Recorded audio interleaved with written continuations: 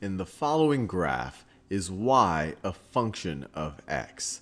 So in order for y to be a function of x, for any x that you input into the function, any x for which the function is, is defined, so let's say we have y is equal to f of x, so we have our little function machine, it should spit out exactly one value of y. If it splits out multiple values of y, we don't know what f of x is going to be equal to. It could be equal to any of those possible values for y.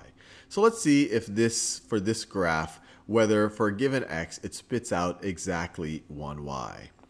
Well, the function seems to be only defined, so the domain of this function is x is equal to negative 2. That's the only place where we have a definition for it.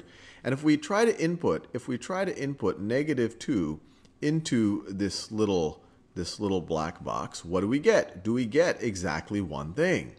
No, we put in negative 2 here, we could get anything. Negative 2, the point negative 2, 9 is on, is, is on this relation.